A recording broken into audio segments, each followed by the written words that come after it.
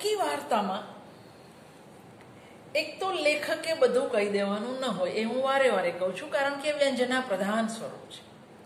પણ બીજી એક મહત્વની વાત યાદ રાખવાની છે કે ટૂંકી વાર્તાનો સર્જક જે કંઈ કહે છે, એ ભાવક માની લે, એને પ્રતિતિકર લાગે, એના ગળે ઉતરે, એ માટેની સજ્જતા અને સજગતા સર્જકમાં હોવી જોઈએ. જે રીતે મેં સ્ત્રી હૃદયની વાત કરી કે વાણીઓ શા માટે જાગે, તો એની પાછળ કારણ હોય. એ શા માટે સ્ત્રીની નજીક સૂતો, તો એના માટે પણ કારણ હોય. અને એ કારણ તમને મને ગળે ઉતરે એવું હોવું જોઈએ. સર્જકે ઊભું કરેલું છે એવું પકડાઈ જવું જોઈએ નહીં. તો આજે હું એક અદ્ભુત મારી બહુ ગમતી વાર્તા, જગમોહને શું જોવું? જયંતિ દલાલની વાર્તા. અમારા છોકરા કાયમ જોયું લખે. નહીં, જોયું નહીં. હવે પછી એને શું જોવાનું બાકી છે એની વાત છે. શું જોવું? પ્રશ્નાર્થ છે.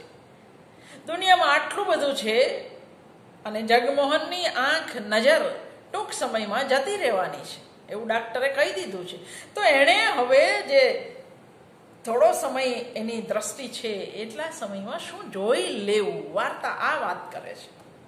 જગમોહને શું જોવું? મોટે ભાગે સર્જક એક જ પાત્રને કેન્દ્રમાં રાખીને પણ ઘણીવાર વાર્તા કરે. આમાં માત્ર જગમોહન જ હાજર છે. જગમોહનની જ વાત છે. હા, જગમોહન આપણને વાત કરતો નથી. વાત દલાલ જ કરે છે.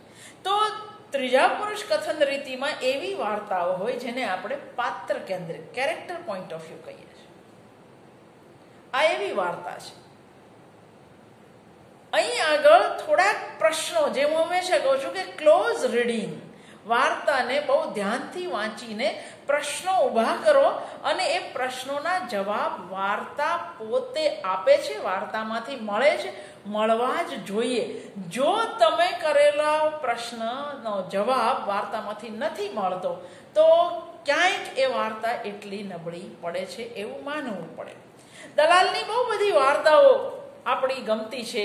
એ આ ઘેર પહેલે ઘેર હોય, એ આભલાનો ટુકડો હોય, કે પછી એ જગમોહને શું જોવું જેવી વાર્તા હોય? ઝાડ, ડાળ, માળો હોય. આ બધી એમની બહુ સરસ વાર્તા. આપણો એવો સર્જક જે ટેકનિક પ્રત્યે બિલકુલ સભાન છે અને છતાંય દલાલે બહુ બધી નબળી વાર્તાઓ, ઢગલો નબળી વાર્તાઓ આપી છે, એ પણ હકીકત છે. કદાચ વધારે પડતી વાર્તાઓ લખી એટલે પણ એવું હોઈ શકે આઠ સંગ્રહ છે એમના. પણ ટેકનિકલી સાઉન્ડ કહી શકાય એવી થોડીક વાર્તા તો દલાલ પાસેથી ચોક્કસ જ મળે. જગમોહને શું જોવું? એ વાર્તા થોડા કલાકની વાર્તા છે. વાર્તાની અંદર કેટલો સમય પસાર થાય છે? એ પણ આપણે જોવું પડે. મોટે ભાગે વાર્તામાં બહુ લાંબો સમયગાળો ન હોય. કોઈક હિંમતવાળો સર્જક હોય, જયંત ખત્રી જેવો જે પેલી નાનકડી કસ્તુરને મોટી થતી બનાવે. ક્યારેક આપણે તેજ ગતિ અને ધ્વનિની પણ વાત કરીશું. અદ્ભુત વાર્તા ખત્રીની. તો પાત્ર વિકાસ આ રીતે ઉંમરનો એ ટૂંકી વાર્તાને બહુ પોસાય નહીં. પણ એના માટે ખત્રી જેવો સર્જક હોય તો ન પોસાય, એવું પણ પોસાય અને આપણને ગળે પણ ઉતરે. તો આ વાર્તા જગમોહને શું જોવું એ થોડા કલાકની વાર્તા છે. સમયનો આટલો સાંકડો ગાળો પણ મનમાં ચાલે છે. ચૈતસિક સ્તરે ચાલે છે. સ્થૂળ જગતમાં ચાલતો નથી. આખી વાર્તા જગમોહનના માનસની અંદર ચાલે છે. વાચક જગમોહનના પલટાતા ભાવ જગત સાથે તાલ મિલાવે છે. પરિણામે જગમોહનનું જે સંવેદન છે, એ મારું તમારું સંવેદન બની જાય. જે ઘટના પ્રધાનતાની પછીથી બહુ વાતો થઈ. જો કોઈ ઝીણી નજરે જુએ તો આભલાનો ટુકડો કે જગમોહને શું જેવું, આ વાર્તાઓમાં હકીકતે આંગળી મૂકી શકાય એવી કોઈ ઘટના બનતી જ નથી. એટલે ઘટનાનું તિરોધાન દલાલથી શરૂ થઈ ચૂકેલું છે. જગમોહનના ચિત્તમાં જે આવી પડનારી ઘટના છે, એના કારણે જે પરિસ્થિતિ ઊભી થવાની છે એનો એક ઓથાર છવાયેલો છે. કારણ કે આંખ દેખાડવા ગયેલા જગમોહનને ડાક્ટરે કહ્યું છે કે કીકી પાછળની નસ તૂટી ગઈ છે, ત્યાં લોહી જામી ગયું છે અને રેટિનલ વેઇનનો થ્રોમ્બોસિસ કહેવાય. Such patient should take their life philosophically આવા દર્દીઓની આંખનો કોઈ ઉકેલ હોતો નથી. આમાં તાત્કાલિક તો તમને એનાથી વધારે નુકસાન નહીં થાય. પણ થોડા દાડે, જતે દાડે તમારી નજર દ્રષ્ટિ જતી રહેવાની. આટલી ઘટના બની છે. પછીનું બધું જ જગમોહનના ચિત્તમાં ચાલે છે. મોટે ભાગે વાર્તાની અંદર શું હોય? કાં તો બની ગયેલી ઘટનાનું કથન હોય, કાં હવે પછી બનનારી ઘટનાનું હોય, અને ક્યારેક જવલ્લે બની રહેલી ઘટનાનું સમાંતરે કથન થતું જતું હોય. એ પ્રમાણમાં ઓછું હોય છે આવી વાર્તાઓ. આ વાર્તા એવી છે જેની અંદર બની, બનતી ઘટનાનું સમાંતરે કથન થઈ રહ્યું છે. જગમોહને શું જોવું જે કંઈ આછી પાતળી સપાટી નીચે જે ઘટના છે એ માત્ર આટલી છે કે જગમોહનને ડાક્ટરે કહ્યું છે કે હવે તમારી નજર જતી રહેવાની છે. ઘરેથી નીકળી અનેક સંકુલ લાગણીઓમાંથી પસાર થયા પછી બહુ ઓછા કલાકમાં ઘરે પાછા ફરતા જગમોહનમાં જે પરિવર્તન આવ્યું એ આ વાર્તાનો વિષય છે. આમ જુઓ તો દેખીતું વાર્તામાં કંઈ નથી બન્યું. પણ આમ તો કંઈ ન બને તો if there is no change no story એવું આપણે કહીએ છીએ, વાર્તામાં કંઈક તો બનવું જ જોઈએ. અહીં જે બન્યું છે, જે પરિવર્તન આવ્યું છે, એ જગમોહનમાં આવેલું માનસિક પરિવર્તન છે. બાહ્ય જગતમાં તમે કશું જોઈ શકતા નથી. ડાક્ટરે કહ્યું છે, હમણાં દૃષ્ટિ ઝાંખી થઈ છે, ધીરે ધીરે આંખનું તેજ વિલાઈ જશે, જેનો કોઈ ઈલાજ નથી. ભવિષ્યમાં જતી રહેનારી દૃષ્ટિના ઓથાર તળે. જગમોહનને અત્યારે જે નવી દૃષ્ટિ પ્રાપ્ત થઈ, એ આ વાર્તાનો વિશેષ છે. અચરજ, વેદના, ત્રાસ, વ્યગ્રતા ઓથારમાંથી પસાર થતું જગમોહનનું આંતરમન છેલ્લે વાર્તાના અંત પાસે એક તટસ્થ અવસ્થાને પ્રાપ્ત કરે. હવે એ શાંતિથી તટસ્થતાથી પત્ની સાથે વાત કરી શકે છે. જાણે કે જતી રહેનારી દ્રષ્ટિએ જગમોહનને, જીવનને અને જગતને જોવાની એક નવી દ્રષ્ટિ ભેટમાં આપી એવું આપણને લાગે.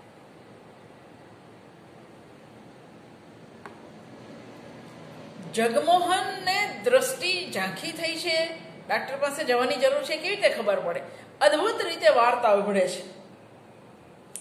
જગમોહને ચશ્મા ઉતારી આંખ ચોળી. પછી અંગૂઠા અને આંગળીઓનો ભાર આપી પોપચા ઉઠાવ્યા.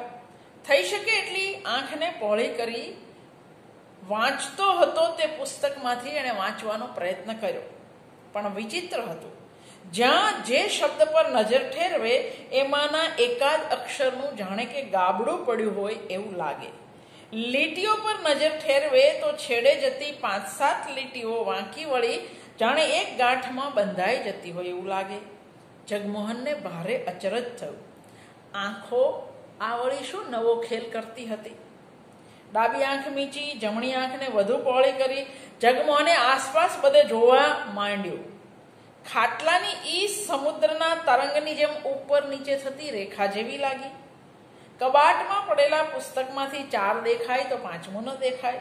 સળિયા બારીના બધા વાંકા ચૂકા લાગે. આ શું થઈ રહ્યું છે? જગમોહન ત્રાસી ઉઠ્યો. શરૂ શરૂમાં જે વાત વિચિત્ર લાગતી હતી એ ભયંકર લાગવા માંડી. શું આંખ ગઈ? જગમોહનના સંવેદન વિશ્વને આપણી સામે લેખકે જે ઉઘાડી આપ્યું, અહીં જે કલ્પનો અને દ્રશ્યો, આ એક વાંચનારો માણસ છે, સામે પુસ્તકોનું કબાટ છે. એ જે રીતે એને અક્ષરોની અંદર કે વાક્યોની અંદર એક ગાબડું પડ્યું, સળિયા, વાંકા ચૂકા લાગ્યા, ખાટલાની ઈ સમુદ્રના તરંગની જેમ ઉપર નીચે જતી રેખા બની ગઈ. તો આવી કલ્પના કોણ કરી શકે? એક સામાન્ય માણસ ના કરી શકે. તો દલાલે કરી એ કલ્પના. તો વાર્તાની નબળાઈ કહેવાય. તો જગમોહને આ કલ્પના કરી હોય તો જગમોહનના પાત્રનું એટલું ગજુ છે એ સર્જકે ક્યાંક બતાવવું પડે. અને એ ભૂલ્યા નથી. જગમોહન જ્યારે જઈ રહ્યો છે ત્યારે સામે મળનાર માણસ કહે છે કે, જગમોહન ભાઈ, વાર્તા સૂજી કે કવિતા? એનો અર્થ એ થાય, આ આટલું બધું વાંચનારો માણસ સર્જક પણ છે. અને એક સર્જકને સૂજે એવા કલ્પનો. અહીં આગળ છે. તો શા માટે આવી ભાષા અથવા આવા કલ્પનો? કારણ કે પાત્ર એ પ્રકારનું છે. આ તમારા પ્રશ્નનો જવાબ વાર્તા પોતે આપે. પણ જો પેલું એક વાક્ય જગમોહનભાઈ વાર્તા સૂજી કે કવિતા એ તમે ચૂકી જાઓ. તો તમને બે વસ્તુનો જવાબ ન મળે. એક તો આવા કલ્પનો કઈ રીતે આવ્યા? એનોય નહીં મળે. અને બીજો, હવે પછી એને જે જાપનીઝ વાર્તા યાદ આવવાની છે. સામાન્ય માણસને જાપનીઝ વાર્તા યાદ નથી આવતી. વાંચનારાને આવું થઈ શકે. એટલે તમે જે વાર્તામાં દેખાડો છો, નિરૂપો છો, એ પ્રકારનું પાત્રનું લેવલ, સ્તર તમે ઊભું કરી શક્યા છો ખરા? પ્રતીતિ કરતાની આ પાયાની શરત છે. જો તમે એવું નથી કરી શકતા, તો સરવાળે તમારી વાર્તા નિષ્ફળ જવાની છે. આવા દૃશ્યો કલ્પનો કલ્પી શકે એવું જગમોહનનું પાત્ર દલાલ ઊભું કરી શક્યા છે. મિલ્ટનની કવિતાની પંક્તિઓ એ વાગોળે છે. જાપાની વાર્તાઓ એ વાંચે છે. અને એ પોતે પણ સર્જક છે તો એનું સંવેદના જગત વિશિષ્ટ હોઈ શકે. પત્નીને કઈ રીતે કહી શકીશ એની ચિંતામાં ઘર તરફ જઈ રહેલા જગમોહનના ચિત્તમાં અચાનક જ જાપાની લેખક ઈશિકાવાની એક વાર્તા અંધારામાં આવતા ખ્યાલ ઝબકે છે. જો દ્વિરેવ મુકુંદરાયમાં વાર્તામાં વાર્તા ગોથે છે. મળિયાએ કાકવંદ્યામાં વાર્તામાં વાર્તા ગોથી છે. પણ દલાલ જે રીતે વાર્તામાં વાર્તા ગૂંથે છે એ કંઈક વાર્તાની સફળતા બાજુ વધારે. આ સરખામણી કરવી હોય તો કાકવંદ્યા આપણે વાંચેલી હોવી જોઈએ, પણ મળ્યાની સરખામણીએ દલાલ વધારે સફળ રહ્યા છે. અત્યારે હું એટલું જ કહીશ. સતત જાપાની વાર્તાના કાલ્પનિક વિશ્વમાં પ્રવેશતો અને વાસ્તવના વિશ્વમાં પાછો ફરતો જગમોહન આપણી સામે જે જગત છે તો કલ્પનાનું જગત છે, કારણ કે આપણે વાર્તા વાંચી રહ્યા છે પણ એ કલ્પનાના જગતમાં બે જગત ઊભા થયા છે. એક વાસ્તવનું જગત છે ને એક કલ્પનાનું જગત છે, જે જગમોહને ઊભા કર્યા છે. જગમોહન જાપાની વાર્તા વાંચી શકે એવો સહૃદય છે એની પ્રતીતિ લેખકે આપણને કરાવી. તોય પ્રશ્ન થાય કે વાર્તાકાર શા માટે જાપાની વાર્તા લાવ્યા? બીજી રીતે પણ આ વાત થઈ શકી હોય. અને કમનસીબે જાપાની વાર્તા વધારે સત્વવાળી છે. જગમોહનના મનમાં મનોમંથન ચાલે છે. પત્ની સંદર્ભે શું સુખ આપ્યું હતું પોતે? જગમોહન જાપાની વાર્તાની પત્નીની બાજુમાં પોતાની પત્નીને મૂકીને સરખામણી કરે છે. તો સન્નિધિકરણની પ્રયુક્તિ દલાલ અને ખત્રીમાં આવી ચૂકી છે. જાપાની વાર્તામાં ખાવાનું ઢોળવા માટે પત્ની પતિ પર ખીજવાય છે. તરત જ વાર્તાના વિશ્વમાંથી બહાર આવી જગમોહન વિચારે છે, ના ના મારી પત્ની તો ન ખીજાય. ખીજાય જ નહીં. એનું ચાલે તો એ પોતે મને ખવડાવે. પોતાની પત્ની વધુ સ્નેહાળ હોવાનો સંતોષ જગમોહન લે છે. અને કદાચ એ જ વાર્તાના અંતે એની જે દૃષ્ટિ, એની જે નજર બદલાઈ ગઈ એના માટે આ સંતોષ કારણભૂત છે. પત્ની પર અકળાતા ગુસ્સે થતા જાપાની પતિ સાથે પોતાની જાતને સરખાવતા જગમોહન મનોમન કબૂલે છે કે આખી જિંદગી મેં પણ બીજું શું કર્યું? ગુસ્સે જ થયો છણકા જ કર્યા. ઘડી પહેલા એ વિચારતો હતો કે જોઈ લઉં જગતભરનું સૌંદર્ય. વાંચી લઉં જેટલું વંચાય તેટલું નજર તો જતી રહેવાની છે. શું જોવું? કાશ્મીર, તાજમહાલ. એની લાઈમાં અકળાતો જગમોહન ઘરે પહોંચે છે. અને પત્ની ચિંતા ભર્યા સ્વરે, કેમ આજે કંઈક મોડું થયું? એ અટકી જાય છે. ચંપલ જાણે પગની પગમાં જ રહી ગઈ. જગમોહન પત્ની સામે ફરી એને જ આંખથી ભરી ભરીને પીતો હોય એમ ઊભો રહ્યો. આજ સુધી પત્નીના જે ચહેરા પર નજર નાખવાની કદી ફુરસત નહોતી મળી. પણ હવે જે નવી દ્રષ્ટિ લાધી છે, એ દ્રષ્ટિથી એ પત્ની સામે તાકી રહ્યો છે. પત્ની પૂછે છે, કાશ્મીર જુઓ છો કે તાજમહલ? અને જગમોહન કહે છે, મારે તે કાશ્મીર અને તાજમહેલને શું કરવા છે? મારે તો આ મોજ જોવું છે. પત્ની કહે છે, કશું નવું નથી એ મોંમાં. પણ નાયક કહે છે, ગાંડી, એ મેં એ મોં જોયું જ ક્યારે છે? અને અહીં વાર્તાનું શીર્ષક સ્પષ્ટ થઈ જાય છે. જગમોહનને પ્રાપ્ત થયેલી નવી દ્રષ્ટિ, એક નવું જ્ઞાન, હવે પછી એણે શું જોવું એ નક્કી કરી આપે છે. એનું બદલાયેલું મનોજગત વાર્તાની અંદર જે પરિવર્તન આવ્યું, એનું કારણ એનું બદલાયેલું મનોજગત છે. વાર્તા જે ફિલોસોફીમાં જઈ રહી હતી, અચાનક જ રોમેન્ટિક પ્રવાહમાં ધસી ગઈ. તો આખી વાર્તામાં જો તમે ધ્યાનથી જુઓ, તો તમે કઈ રીતે દલાલ ગુજરાતી વાર્તાને બે, ત્રણ ડગલા આગળ લઈ આવે?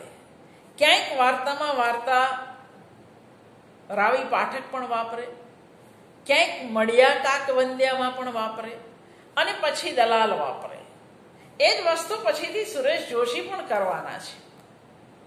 પણ એક સર્જક એના પુરોગામી સર્જક પાસે અટકી ન જાય, એ પોતાની વાર્તાને બે ડગલા આગળ લઈ જાય. વાર્તામાંથી પ્રતીતિ કરતા સંદર્ભે બધા જવાબ મળવા જોઈએ. તમારું પાત્ર આ પ્રકારનું વિચારી શકે એવું છે. એ આ પ્રકારનું વાંચે છે એટલે એને આવા કલ્પનો સૂજે છે. આ બધી શરત તમારે સર્જક તરીકે યાદ રાખવી પડે. જો સારી પ્રતીતિકર લાગે એવી વાર્તા સર્જવી હોય તો.